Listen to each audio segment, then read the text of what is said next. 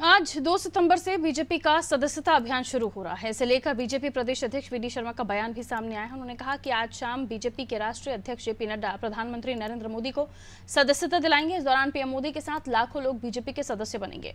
We Sharma ने ममता बनर्जी पर निशाना साधते हुए कहा कि ममता बनर्जी के पास फांसी की सजा का ड्राफ्ट ना हो तो एमपी से ले सकती है। वहीं इंदौर की महिला डॉक्टर के साथ हुई घटना पर वी शर्मा ने कहा, समाज में विकृत मानसिकता के लोग हैं, शासन अलर्ट पर है। आरोपियों की कड़ी से कड़ी सजा मिलनी चाहिए। जनता पार्टी का देश के अंदर संगठन का पर्व आज से प्रारंभ हो रहा है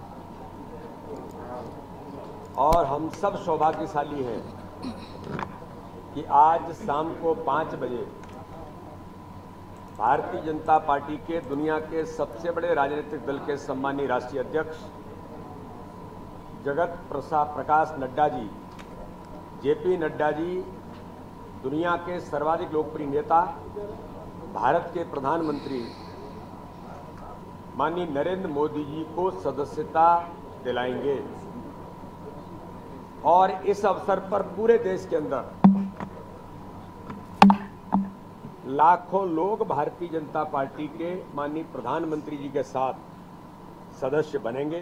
फांसी की सजा का कानून बनाने का काम कर रही हैं। ममता जी आपके पास ड्राफ्ट नहीं हो या आपके लोगों से आप बनवा रही हो तो मध्य प्रदेश से मंगा लीजिए। देखिए, इस प्रकार के हमारे जो डॉक्टर्स हैं, समाज के हमारे, वो एक ऐसा व्यक्तित्व है जो लोगों के जीवन को बचाने का काम करते हैं। समाज में विकृत मानसिकता के लोग हैं तो इस प्रकार के लोग इस प्रकार की चीज़ें करने का प्रयास करते हैं।